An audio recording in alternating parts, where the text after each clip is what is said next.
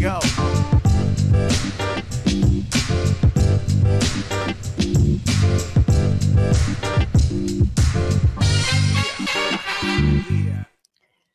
Elbow discomfort. That's the nothing personal word of the day. Bad word if you are the GM of any team or the team president and you're listening to nothing personal. Oh, it better not be about my guy.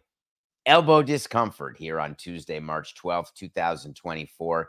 Yankees fans are despondent beyond repair as they woke up to the news that Aaron Boone just put into a quick convo.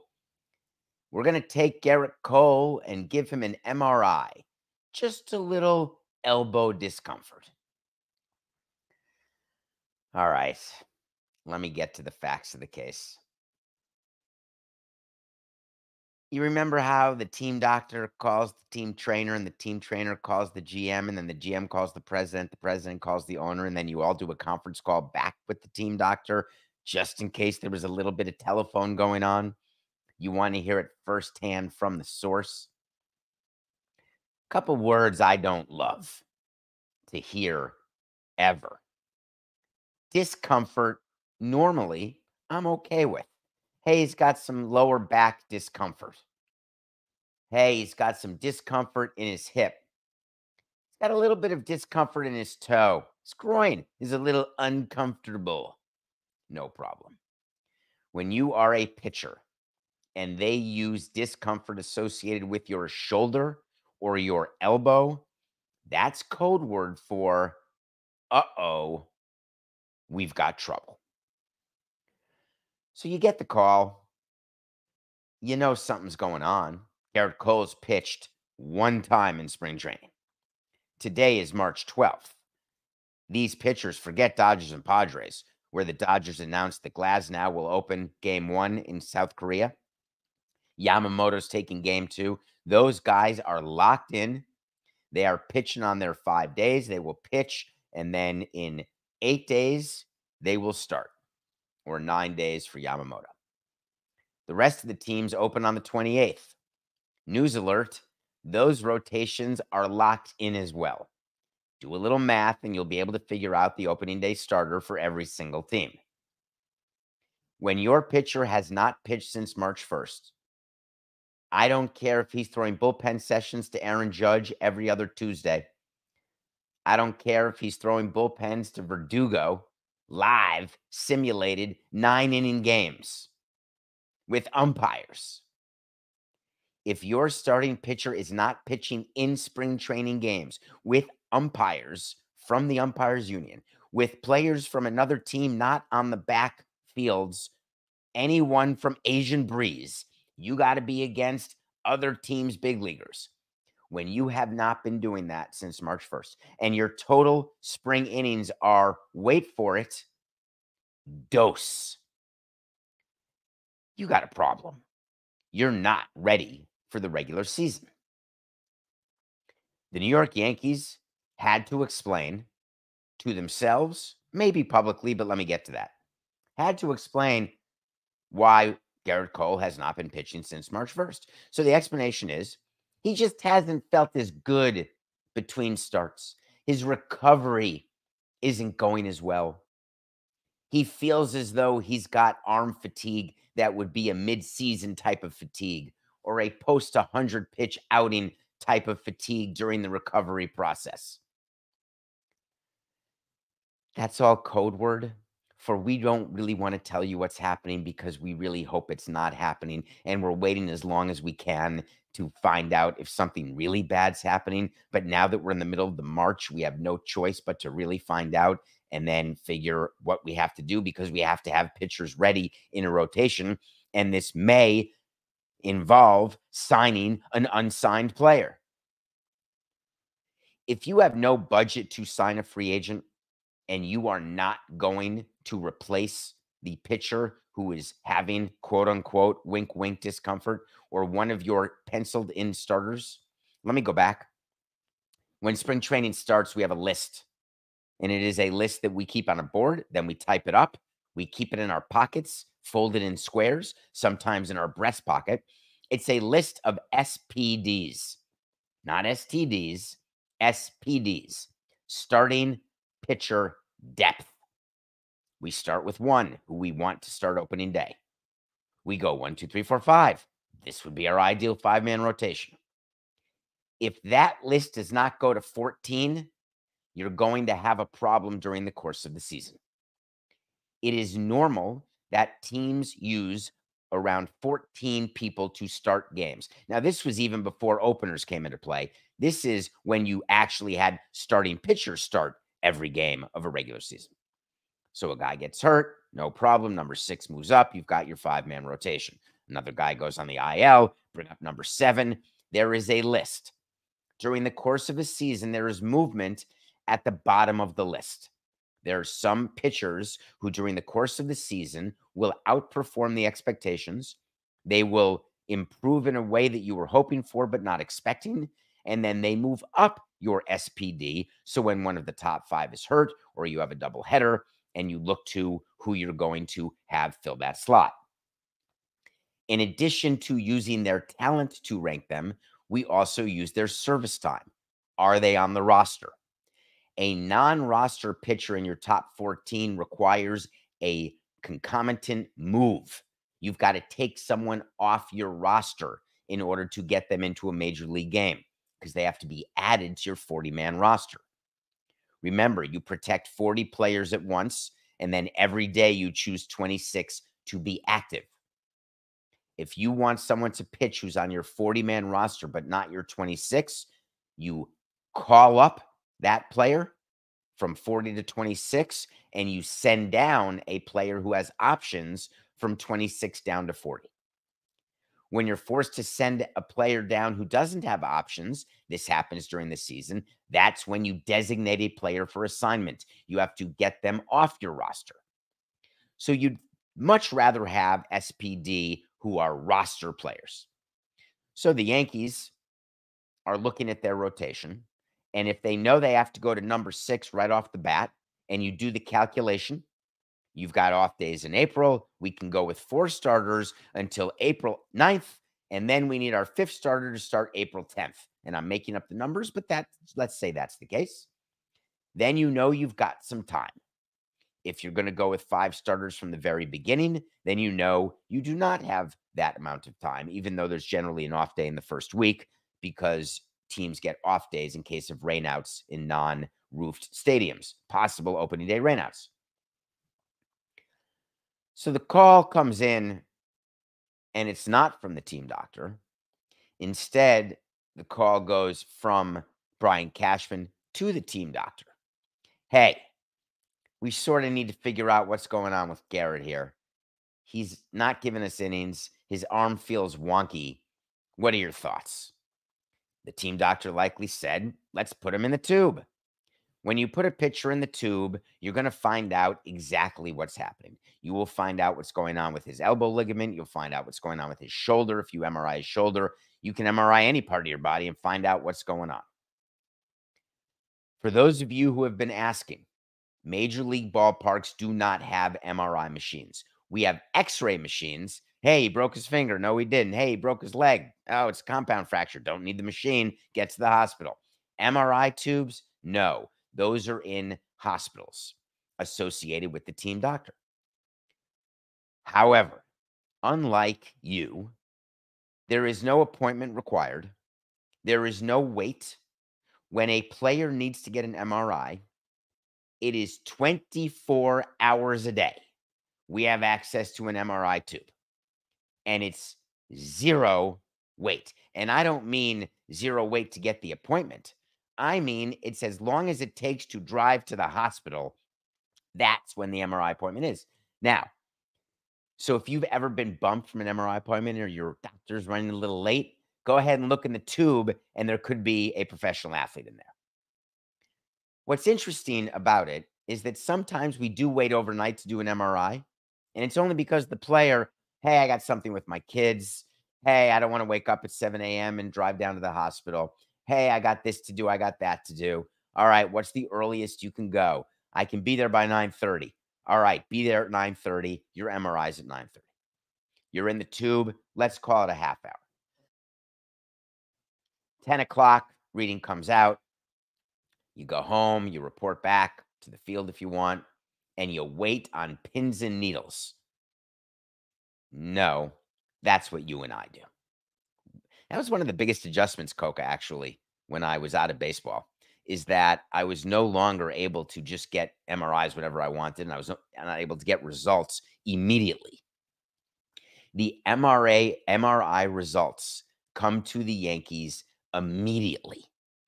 So just to be clear, when Gerrit Cole gets the MRI, the Yankees will have the results, and then they can decide what they're going to do, how they're going to announce it. If it's true that it's just a little fatigue, then all you do is announce there is no structural damage. We are going to build Gerrit Cole back up. We expect him to be ready by the middle of April, but he will start the season on the injured list. That's one option. Two, it could be serious, in which case you announce we have inc- we're inconclusive. We're going to let him rest, but there is no timetable. That's another favorite one. Unfortunately, the Yankees have two problems. One is Nestor Cortes. Nasty Nestor actually went public, which we tell our players never to do. Do not talk about your teammates' injuries. That's second only to don't take anyone to your room who you meet in the hotel lobby. Two rules. I mean, third, of course, is take Uber. Don't talk about your teammates' health. Cortes said he's a big part of this rotation. I feel like this is something he's trying to get ahead of. Obviously, it's alarming. I didn't know how serious it was until now. Nestor, we're trying to make it not serious because we don't want Gerrit Cole to go to his agent, Scott Boras, and say, Oh, Scott, I've got a serious injury. You do? Bummer, but you're in the middle of a nine year, $300 million deal. I'm not worried about you there, Gerrit. Good luck. Get better. Hold on. Brian, it's Scotty. Hello, Boras. What do you want? Hey, I'm I'm hearing that there could be an issue with Gerrit. He's your client. Do you know something? No, I just know what I read. You know, he feels a little tired. He'll be fine. But you know, I got another client out here ready to go. He's completely stretched out. Forget taking a step back. The Yankees cannot afford to start slowly out of the gate. The pressure is on you, Brian, and Aaron Boone. What are you going to fire Booney after three weeks? You need my guy. How about the amount of self dealing that Scott Boras can do right now? He can say to the Yankees, he's like the Dr. Seuss machine I talk about, where Sneetches pay to get their stars either put on or taken off. They don't care because they're making the money. They own the machine. And the Sneetches don't know what to do. They keep paying the guy money. Dr. Sylvester McMonkey McBean, I believe it. There's no way I have that right, but that's sort of the Disney, the Dr. Seuss character. Scott Boras is that. He's Sylvester McMonkey McBean calling the Yankees and saying, Hey, I'm sorry that your pitcher has no star upon his belly. I've got a machine that I'll get you another pitcher. His name is Blake Snell. Scott Boras. You wonder why the Yankees don't want news out there? They don't want Boras to know anything. They don't want to get pressured into giving Blake Snell more money. That's it. Let me give you a wait to see on Gerrit Cole because the old elbow discomfort thing. I'm looking at two innings of spring training and I'm telling you the following. Wait to see when I tell you something's going to happen. If it does, great. If it doesn't, fine. This one we're going to win. Gerrit Cole will start the season on the IL. That's a give me. Give me. He's not going to pitch again before May 1st. Wait to see. Tell you who's not waiting to see. The free agent deadline. Who doesn't love it? How many of you are saying right now, God, baseball, you stink? Look at the excitement the NFL has. Look at all these players signing these contracts. I couldn't take a minute off yesterday without some other guy getting 100 million guaranteed. This guy's going to that team. The Packers cut Jones, signed Jacobs.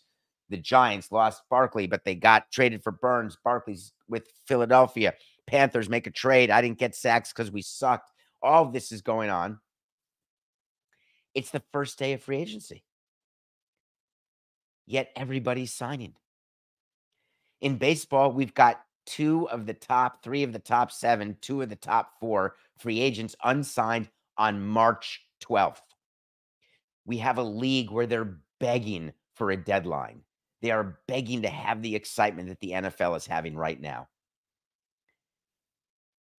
For not the final time, because it's going to come up again and again. Maybe everyone will get it now. Without a salary cap, you cannot have this excitement.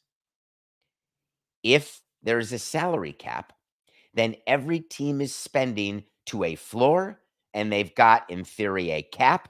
It's a hard cap and a soft cap, and we can go over cap rules later. But it's a game of musical chairs because once you're at or over the cap, that's it. Players know it. Players also know teams who are not at the cap that eventually players have to get signed, which is how you get crappy contracts in the NBA when teams have to spend to a floor. Baseball doesn't have it. And because baseball doesn't have it, there will never be that need for a player to sign so quickly, unless, of course, he's getting totally overpaid, because baseball teams can have a budget on March 12th. They can have a different budget on November 12th, a different budget on June 12th. They can change their budget every week if the owner wants to. It's totally irresponsible and ridiculous, but it's possible. NFL teams can't do that. The money they spend is the money they have, and that's all they can spend. So I'm fascinated by reading about what is happening with all the player movement, and I'm jealous at the news cycle. But for all the people within baseball who are hoping that this would be yet another way for the players to realize how exciting it is and therefore agree to a deadline, it's not going to happen. The only way the players would agree to a deadline is if there is some sort of salary floor that is way higher than where a whole lot of teams are right now, and a salary cap that is way higher than the Dodgers and Mets are right now. Now, if there's some sort of cap and floor in that way, then you could have this type of excitement for baseball. But until then, we'll have to settle for football and we'll have to settle for fan bases who are upset, tearing up jerseys. Are Giants fans getting rid of the Saquon Barkley jerseys? Are they so upset that he's an Eagle now? Is it that big a deal? I'd be cheering. I'm a Giants fan. I'm happy. In a salary cap league, there's nothing better than your competitor overpaying a player. There's nothing better. It's it's a dream. The Eagles giving Barkley what they gave him 37 and three quarters million dollars. He got 26 million guaranteed. He got more than the franchise tag. Good for him. I'm happy for him. He gets to go home. I think he grew up in Lehigh Valley, about an hour away from the Linc, the bank, the Fink, the Dink, Century Link. I likely cannot. Re- How sad. I don't remember the name of every stadium. Are you of that age where you used to know the name of every stadium and now you can't remember because they keep changing names? That's me. Is it worthy of discussing on nothing personal that Barkley got that contract? No, I'm going to move on to Tiki Barber. Tiki Barber's having this fight with Saquon Barkley. I'm going to throw some water on it. There's two ways to go. You can go water or you can go gas when you have a show like ours.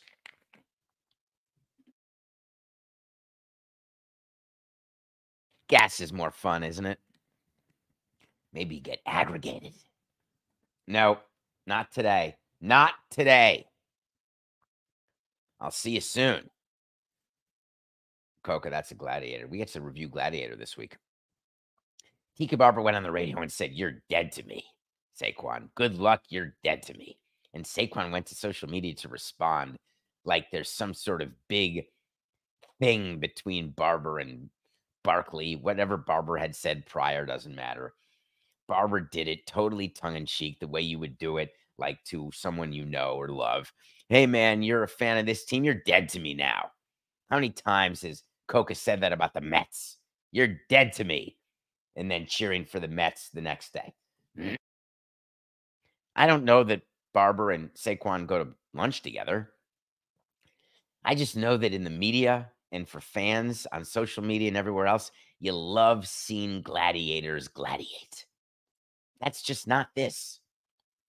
I wonder whether Aaron Jones and Josh Jacobs will get at it. I wonder if players get upset when one player gets cut because the team says we don't have the money for you, and then the team turns around and gives that money to another player. If it were 8:45 a.m. Eastern on the Nothing Personal with David Samson YouTube channel, I would have Aaron Jones looking at Josh Jacobs and saying, "Man, you're dead to me." And I have Josh Jacobs looking at Aaron Jones and saying, "Hey, it's just business. This is nothing personal." There's a lot of that going on during free agency. Teams are changing out. They're deciding who to pay, who not to pay. There are players who think they were going to get paid, then they don't get paid. Then they sign with a team who all of a sudden is paying them, getting a ton of money. I mean, who's not happy for Sam Darnold? $10 million. That's the baseball equivalent of a decent veteran, mediocre, innings eating number five starter. That's who the Vikings signed. Why? Because the Vikings were nervous. We cannot play without a quarterback. And we lost our quarterback yesterday.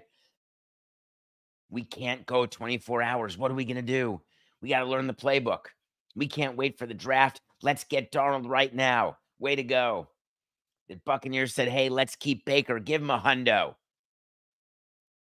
The Atlanta Falcons said, We fired Arthur Smith. He stinks. We brought in Morris. We love him. We've heard of him. We had him.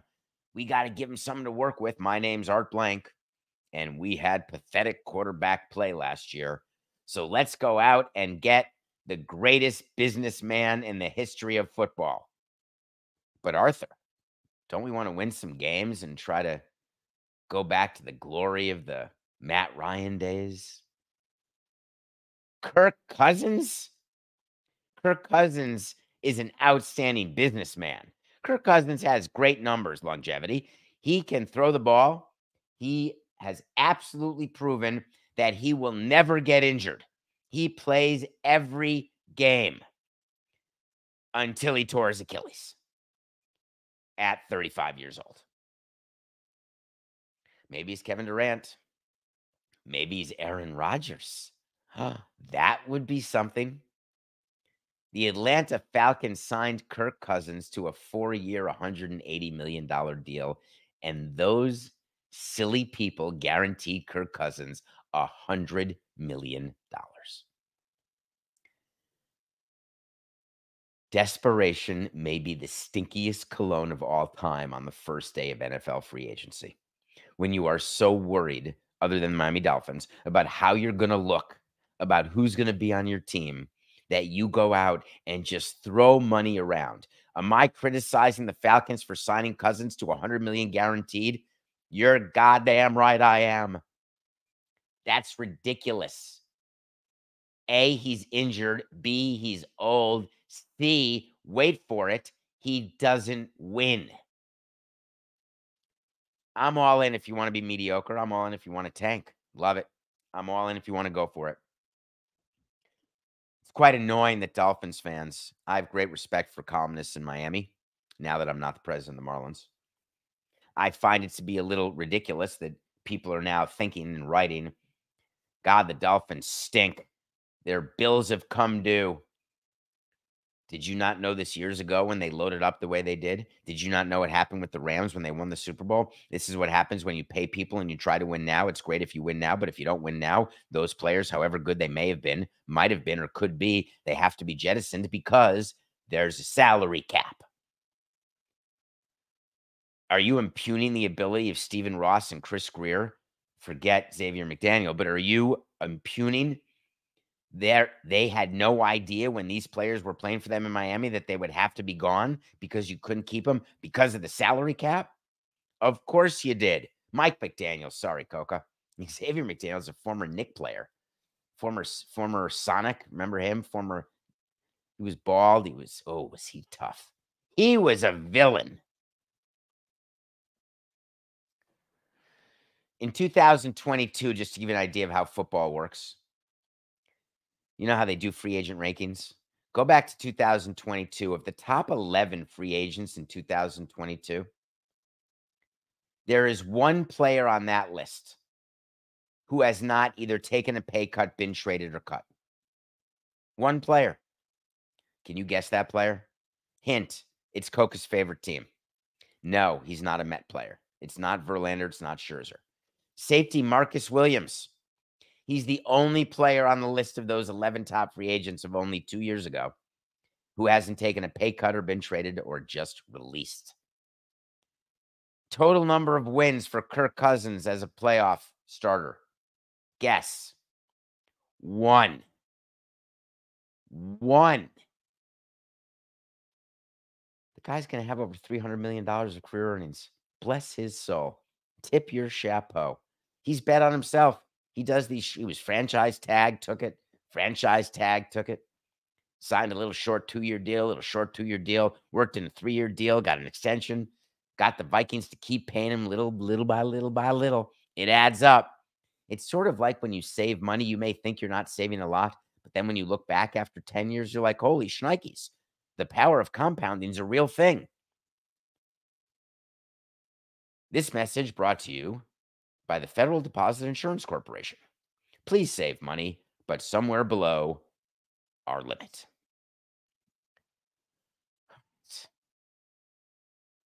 All right, Coca, let's take a break. We haven't gotten to my favorite story of the day yet. We're going to. We're going to review an Oscar nominee, did not win, but I watched the movie and I want to review it. And then we're going to talk about some stuff that's going on in San Francisco that's going to shock you. And it shocked me in that Man, I never thought of that. What a great way to save money. I'll explain after the break.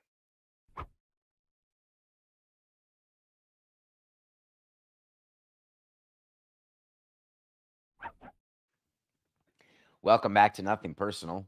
It's a tired David Samson coming at you. Every day, 8 a.m. Flew back from Miami we did live from the stained carpet. Hope you watched that. So many of you did. Thank you. Whether you're an Oscar fan or not, we did a seven hour watch party. That was a little tiring. Woke up the next morning, did nothing personal as we do yesterday from the Miami studios. Did the Le Batard show. Took an evening plane, was delayed. There's a few reasons I'm okay being delayed. One, are you making sure the wheels are attached? No problem making sure the doors are attached. I'm in. Making sure you get catering and the fact that the jet bridge wasn't working, not in. So I got back very late. And then, of course, laundry, unpacking, yada, yada, yada. You look up, it's 3.30 in the morning. No excuse. 8 a.m. live on the Nothing Personal with David Samson YouTube channel. Thank you very much. I was just going to fix my cravat and I'm not wearing one. I was just going to do this. I did this on, I wore a tie for the party, Coca, for the uh, live from the stained carpet. And I was playing with my tie because I don't wear ties even to funerals or weddings. And I just found myself doing what I used to do. when I wore a tie every day on Wall Street. And when I first got into baseball, and when I first got to Florida, I'm such a jackass. Everybody buy dress clothes. David, you're out of your mind. It's too hot in Florida. No one wears ties. I want to be professional. Three weeks later, throw away your ties. This is ridiculous. It's a thousand degrees in this place. Who knew? We told you. Yeah, but I didn't listen. Young, dumb, and full of ego. The Teacher's Lounge. It's the German submission for Best International Feature to all the teachers, and I know we haven't done a know your audience profession. I'd like to do some more audience work to learn who our audience is. I would assume that we're somewhere in the 1% range of teachers who listen, which is amazing. Thank you. The Teacher's Lounge is a movie that you don't need to be a teacher to watch. Have you ever been a student? The answer to that question is yes, then check out this movie. The teacher's lounge is literally about the teacher's lounge and what goes on in the teacher's lounge when a school is having a few issues that need to be addressed. There's some stealing going on. Who's doing the stealing? Is it a student? Is it a teacher? How do we catch the person doing it? Is that ethical? What happens once we do catch the person? Did that person actually do it? Was it done legally? What happens to the relationship between teachers and teachers and teachers and students when things are going so wrong they go from bad to worse and then worse yet the movie goes from good to great to greatest go find the teachers lounge and watch it subtitles you'll get through it All right, Coca, this is it. I told you we'd get to this at 8:30. Plenty of time. Never a doubt. Let's talk about JD Davis, former player for Coca. He plays for the San Francisco Giants. San Francisco Giants like to sign the best free agents, they just don't. They have the second best open air ballpark in all of baseball for me behind Pittsburgh. They had that great sellout streak, huge success with the needles and the cream back in the day. Got a ring, got a ring, got a ring. Nothing, their t- value of their team's gone up. Success story. They bring in a president of baseball ops, Farhan, very smart, very, very smart man. Believes that he is building a team, a team that could beat the Dodgers, a team that finished ahead of the Dodgers one year, a couple years ago, won 104 games with Gabe Kapler. Then they fired Kapler. I totally get why people fired Kapler. Now working for the Marlins in like a front office role. See how long that lasts. This is a horrific onboarding of the story of JD Davis. I'm going to try better. Here we go. 4869. Ready, Coca? In very big and confusing news yesterday, JD Davis was waived by the San Francisco Giants. The same player who had just gone to arbitration with his team and actually won his arbitration hearing and was a $6.9 million player, having been offered 6.55 million by his team a panel of independent arbitrators, as chosen by the league and the union, decided that JD Davis's submission was correct and he got $6.9 million. About a month later, the Giants called him into the office and said, See you later. We're releasing you. And we're not paying you all 6.9 million. And the fans all over the country said, wait a minute. I thought he was signed at 6.9. I thought baseball contracts were guaranteed. I, there's the rub. So let's make sure that you're all aware of how this works. When you sign a player to a guaranteed free agent contract, a major league guaranteed free agent contract, and the player has achieved a certain level of service time, that money is guaranteed through hell or high water, through performance, through injury, through lack of performance. You give a guy $100 million, he's getting $100 million. When you've only been in the league between three and six years, you're in the arbitration process.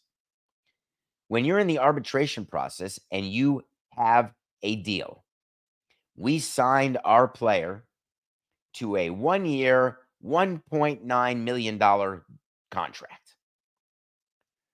That is called an actual arbitration settlement because those players were tendered contracts because they have more than three and fewer than six years of experience. When you tender a contract to a player, that literally means you're offering. Here's a contract. Let's agree on a price. When you're in the league fewer than three years, here's your contract and here's the amount on it. See you later. Between three and six, Here's your contract. Let's talk. The player says, I want one nine. The team says, I want to give you one nine. Let's sign a contract. Guess what? That 1.9 million, you got it. Guaranteed. What happens when you say, I'd like to give you 6.5? Well, I'd like 6.9. Well, I'd like to give you 6.5. Well, I'd like 6.9. All right, well, let arbitrators decide it. Arbitrators come back and say, you know what? Give him 6.9. No problem. Here's your contract. It's 6.9. A little known fact is you are allowed to release that player. And the only amount of money you have to give them is 30 days' pay. It's like a severance package. You get 30 days severance, but you're gone. So if you're making a million dollars, let's say you're making it's done by day. So for JD Davis, who would make 6.9 million over the course of 185 days, math on 30 days is about $1.1 million. The Giants are allowed to release JD Davis, write him a check immediately for $1.1 million for severance, and JD Davis becomes a full free agent as though he has six or more years in the big leagues. He can sign with any team he wants for any amount of money. That million dollars is his. Does that seem unfair? JD Davis is very unhappy.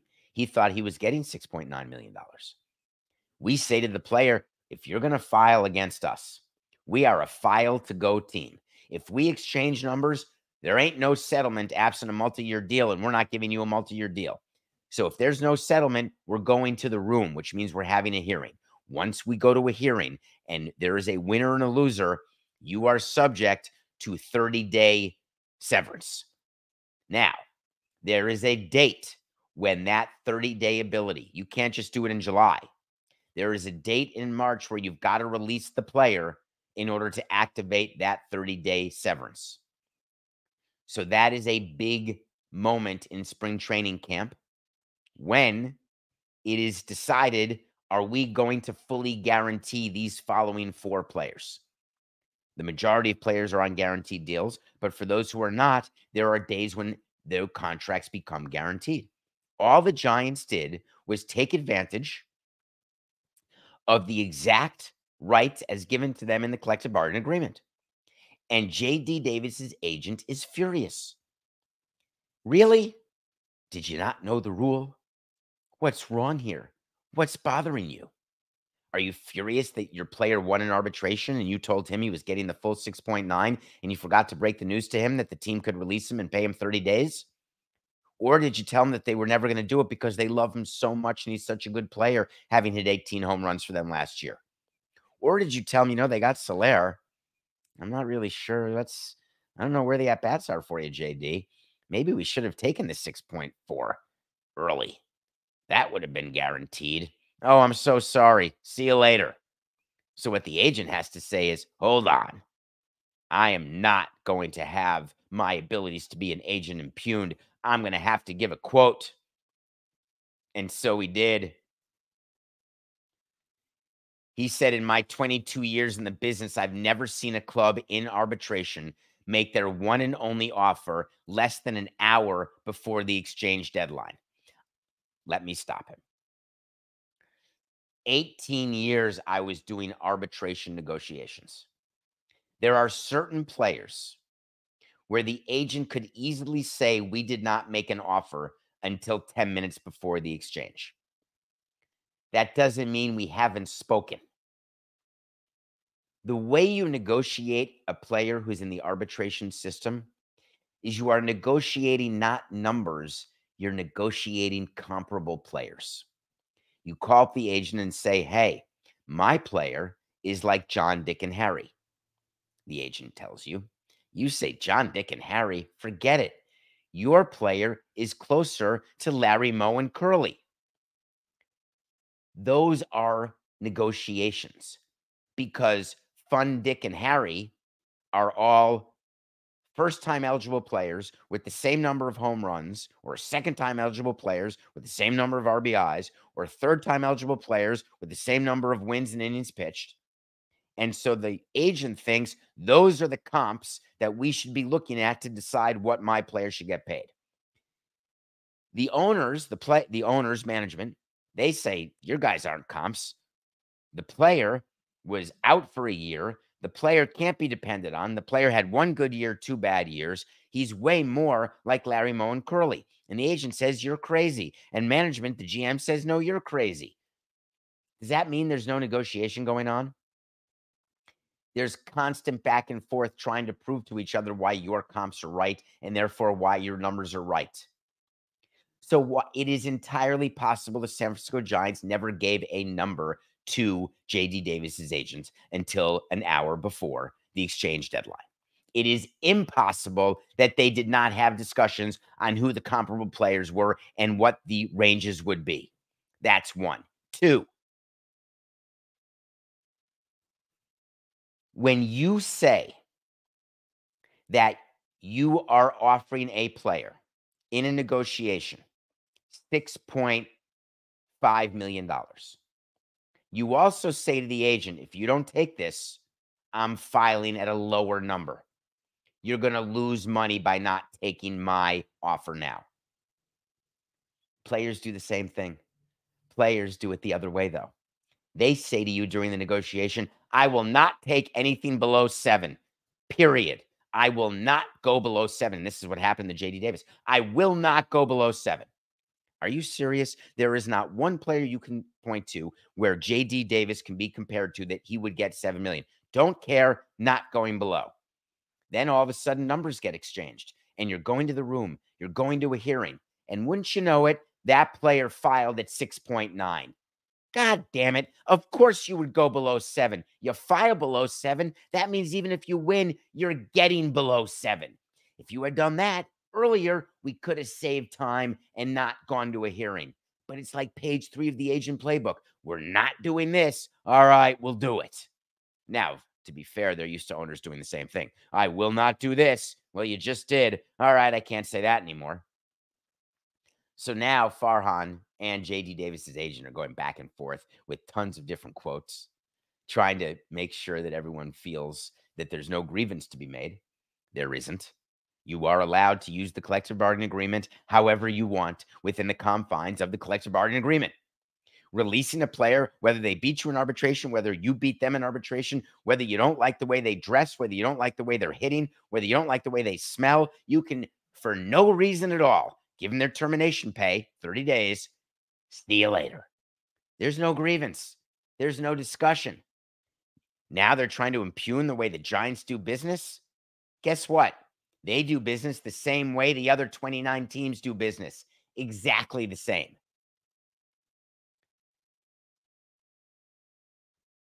JD Davis is a free agent, Coca, if you want him. Nothing personal pick of the day. Who did it yesterday?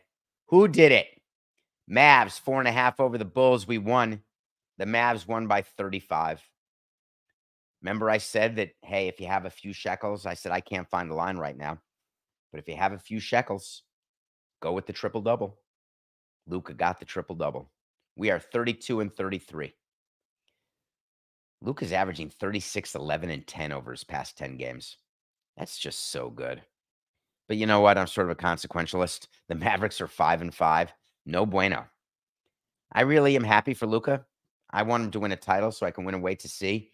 But it ain't great to go five and five when you've got the second best player in the entire sport. Don't worry, Kyrie to the rescue. All right, we need a pick today. We need a pick. We need a pick so badly. Should we go the over under of the Knicks Sixers game? The Knicks Sixers played an old school game. We talked about on Le Batard the other day. Maybe it was yesterday. The Sixers beat the Knicks 79 73. Such a good game. That's how it used to be. The total tonight for the Knicks Sixers is back up to 108. So they're assuming that both teams will get into the hundreds. We're going to do a, uh, is 208, excuse me, obviously. It can't be 108. I'll take the over, Coca. Can we tease the total down to 108.5? What do I have to do? Do I have to do the Knicks minus 60 over the Sixers over 108.5? I'm taking the Knicks six over the Sixers. And I'm doing a half unit parlay. The half unit parlay, Coca, is Knicks on the money line over 208 and a half. So would you help me and figure out what that will be? That's plus 171. So we're doing half a unit on Knicks money line and over 208 and a half, which is ironic because they just played and they didn't get over 153. That said, this is the NBA. This will get us back to 500. All right. Still can't get over the whole free agency thing in football. I always, I just remember when this day would happen. I don't know if we have another minute or so, Coco, but I, I just remember all the player movement and all the excitement we're trying to sell opening day. Spring training is is you're deep into spring training. people are beginning to smell opening day. You're beginning to take over the news cycle. You're not yet at the NFL draft. You have a month to go before that. And the NFL just shoves in this day where you get crushed both the day before in anticipation, the day of, and then the day after when everybody's talking about what happened the day before. So it's a three day cycle in the middle of your prime time. The only thing worse would be if they did it in October. But this is your prime time. Kirk Cousins, I salute you. It's just business. Good luck in Atlanta. This is nothing personal.